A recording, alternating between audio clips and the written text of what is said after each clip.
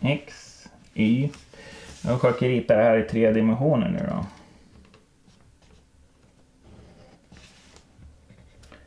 Z då. Och då har vi någon enhetsvektor då, i, tak, enhetsvektor j, tak och så får vi en enhetsvektor k, tak. Så z går alltså ut ur pappret här för mig då. Och det är viktigt att rita det på det här sättet då. Och det är det här som vi kallar för högerhandssystemet och nu kommer högerhandsregeln in i bilden då. Och jag brukar göra på ett sätt. Det finns många tusen sätt att göra högerhandsregeln på. Där boken håller på med några böjda fingrar och grejer och sånt där. Jag brukar köra ett sätt som är, funkar på allting. Då det är lättare att komma ihåg en grej. Och det är att jag tar höger hand och så gör jag 1, 2, 3 va. 1, 2, 3. I, J, K. I, J, K. Så man räknar va. Som man brukar göra när man räknar på fingrar. Och sen håller vi då upp fingrarna alltid vinkelrätt istället. Istället för att bara göra så här då. Så, så tummen rakt upp. Pekfingret rätt fram och långfingret mot mig själv då. Så då får jag en sån här grej. Jag kan ju visa den här under också. Va? Så ska ni ha en grej. Då har ni alltså fingrar och tummar i all, alla i ortogonala riktningar mot varandra. Va? Och då så säga, sätter vi i samma bokstavsordning som IJK, va? i alfabetisk ordning. Så tar vi tummen, pekfingret, långfingret i samma ordning. 1, 2, 3. Så I i min graf är åt höger. J pekar ju uppåt, alltså är K ut ur pappret. Så om jag alltid håller mig till det här, va, då, då har vi ett fungerande koncept. Va. Och det här blir, blir jätteviktigt. Då, för när vi nu pratar om den andra andra multiplikationsformen då, av vektorer. Då, det vi kallar för kryssprodukt. Då. Och kryssprodukt eh, skriver man ju som ett kryss då. Så om vi tar kryssprodukten mellan i i enhetsvektorn och j då va. Om vi vill räkna ut den kryssprodukten då. Nu kommer vi ihåg att skalärprodukten gav ju en siffra, en skalär. Va? Kryssprodukten funkar inte så, utan kryssprodukten ger faktiskt en vektor. Då. Och och nu har jag mina enhetsvektorer här. Då. Så om vi börjar med att få, att få reda på vilken riktning kryssprodukten pekar, så att säga. den här vektorn som svaret kommer ut i. Då. Vilken riktning pekar den då? Ja, då använder vi vår högerhandsregel igen då i JK. va. Jag tar mina fingrar va. Och när du räknar en kryssprodukt då, då ska du ta dem i den ordningen kryssprodukten kommer. Då. Så det här är vår första vektor och det här blir vår andra vektor. Va? Så, och nu är vår första vektor är i, det får bli tummen. Och andra vektorn är j. Och då ska vi se vad svaret går då. Så i gick åt höger och j var uppåt. Så svaret av kryssprodukten kommer alltså vara någonting som pekar uppåt då. Det ser vi, det är ju vektor k va. Så svaret är ju vektor k. Men jag kan ju ta någonting annat då. Säg jag tar j. Och så tar jag den kryssprodukt med K. Då tar jag alltså tummen på J, för det är min första vektor. Den var uppåt. I, ja, i bilden då så att säga. K, det var ju den som gick ut ur pappret då, så då blir det så va. Så då kommer svaret gå åt höger där bild va. Och höger det är ju, det är ju vektor Y va. Och så vidare va. Så att få reda på riktningen av kryssprodukten, då använder vi högerhandsregeln så här.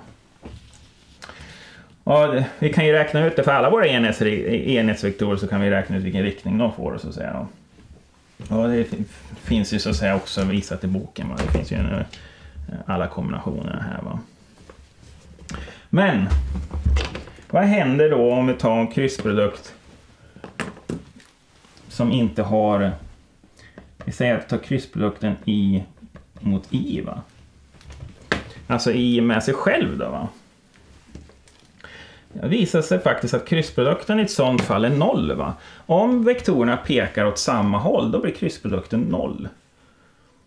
I skalärproduktens fall så var det ju den del av vektorn som verkade i samma riktning då, som den vektorn man multiplicerar med. Så det betyder ju att skalärprodukten är som störst om vektorerna pekar precis i samma riktning. Kryssprodukten är precis tvärtom då. Det är alltså om kryssprodukten, om vektorerna pekar i samma riktning, då blir alltså svaret noll Och den skulle bli som störst då om vektorerna är helt vinkelrätta mot varandra. Så var kommer det här ifrån då? Vad, vad är kryssprodukt egentligen? Ja. Ja, men så att säga, hur stor... Nu har vi på något sätt pratat om riktningen då, och sen har vi börjat prata om storlek då. Men om man ska räkna ut, så att säga, längden då, magnituden då. Magnituden av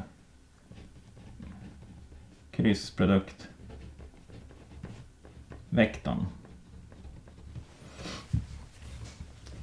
Om vi kallar den för vektorn då, kryssproduktvektorn C då, säger att det är vår, det vi räknar ut då.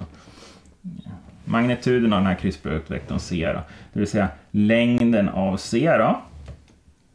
Så vi, vi tänker oss att vi gör vektor, säg vektor A kryss vektor B då, blir vektor C då, rent allmänt. Då.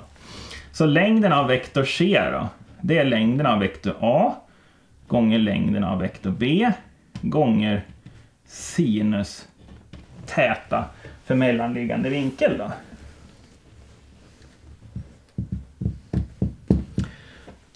Var ju, såg ju, den skalärprodukten var ju väldigt lik, den har bytt kos mot sinus. Då. Men det här är också någonting, det är en geometrisk tolkning. Vad, är, vad betyder detta egentligen? Va? Så låt oss rita.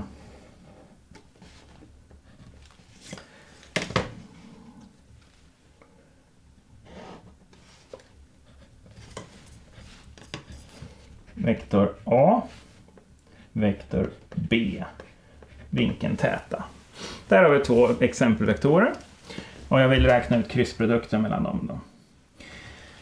Om vi då tittar här vad står det här? Det står B gånger sinus täta. Då. B gånger sinus täta. Vad kan det betyda i den här figuren? Då? B gånger sinus täta. B är ju den här då. Så om B är en hypotenusa då. Om jag ritar rita ett streck däremellan då. Men ta B gånger sinus för täta då. Det är alltså den här längden då, va? Så det här är alltså B gånger sinus för täta då. Alltså längden på den där sträckan är där då. Längden på den sträckan. Och jag ska ta det gånger längden på A. Va? Det betyder ju att det är ju, det är ju arean på den här eh, fast eh, gånger två. Då. Det är alltså arean på en sån här fyrkant då, på något sätt. Då. Så kryssprodukten ger oss en, vill säga en area då, på något sätt som vektorerna utgör. Ja, vektorerna A och B utgör då.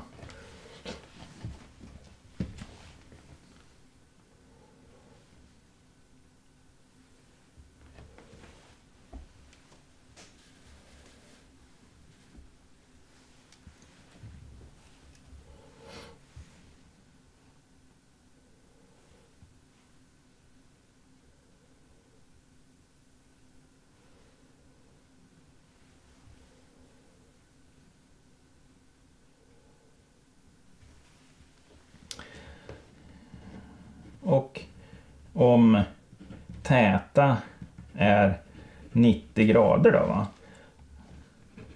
Då får vi att den här arean då representerar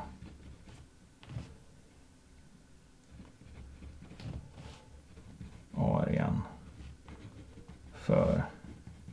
kvadraten. Då.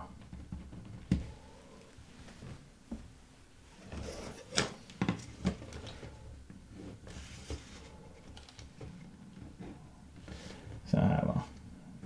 Det här är A och det där är B och det här är 90 grader då. Då blir kryssprodukten den här arean. Men som sagt var, det, det här är någon sorts visuell förståelse. Då. Så om om så att säga, vinkeln är mindre än täta va, så representeras det ju fortfarande av den här arean som blir den här kvadraten då, på något sätt. Men det ger någon sorts, någon sorts eh, sinnesbild för vad kryssprodukten egentligen är. Då. Och vi kommer ju se att kryssprodukten kommer användas i många sådana sammanhang som på något sätt har med arier att göra. Då. Men svaret då av kryssprodukten, det här var ju storleken på kryssprodukten. Och det var ju en vektor som kom ut. Va? Så vektorn hade ju också en riktning. Och riktningen kunde vi få med vår högerhandsregel. Va? Vår högerhandsregel. Och det, den här så att säga, svaret av kryssprodukten, vår vektor C. Då. I det här fallet då, om vi då tar då eh, vektor, ska vi då så att säga räkna då det här då, A kryss B då vår vektor C då. Då ska vi alltså ta A med tummen och så tar vi B i den andra riktningen då. Då blir alltså C blir neråt va. Så, det här, så den här vektorn pekar in i pappret då. Medan om vi tar B kryss A då får vi, ja, det, det blir någonting annat då, så att säga. Vi kallar den för D då. Den får ju samma storlek så att säga. Va? Men om det är B och sen A, då pekar ju den alltså ut ur pappret. Då.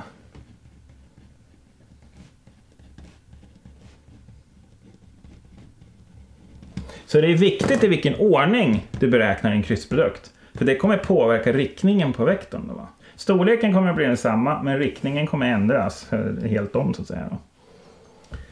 Det finns ju också en annan geometrisk tolkning av kryssprodukten där tidigare så sa vi att det på något sätt kan representera den här arean av någon sorts kvadrat som vektorerna på något sätt utgör. Eh, men den andra varianten då? Det är om jag ritar upp de här igen då, vektorerna.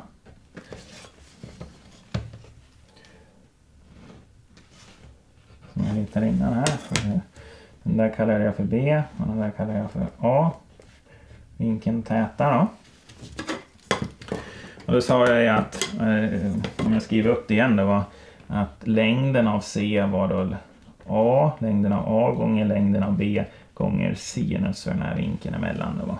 Och då sa jag ju att B gånger sinus för täta var ju den där sträckan. Då, Men jag kan ju precis som vi gjorde med skalärprodukten så går det ju att flytta om det här. Va? Så vi kan ju säga längden av A gånger sinus för täta gånger längden av B. Va? Och vad betyder det då? Den, den geometriska tolkningen då? Ja, längden av A gånger sinus för täta då. Då, då får vi ju den här sträckan istället. Då, va? Så det här är längden av A gånger sinus för täta. Va? Så då tar vi alltså den sträckan som är vinkelrät mot B och multiplicerar med längden av B. Då. Så det är en annan geometrisk tolkning. då.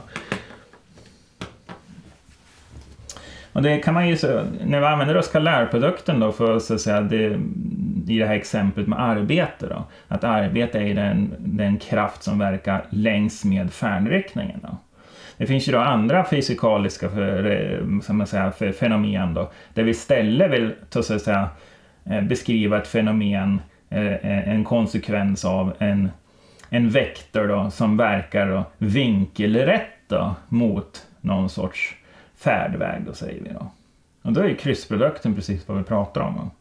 Så det är en annan geometrisk tolkning av kryssprodukten. Då det är viktigt att liksom förstå geometrin bakom eh, det här med vektorer då, och framförallt kryss och skalärprodukter. Då, för det kommer hjälpa er att, att lösa fysikproblem framöver. Då.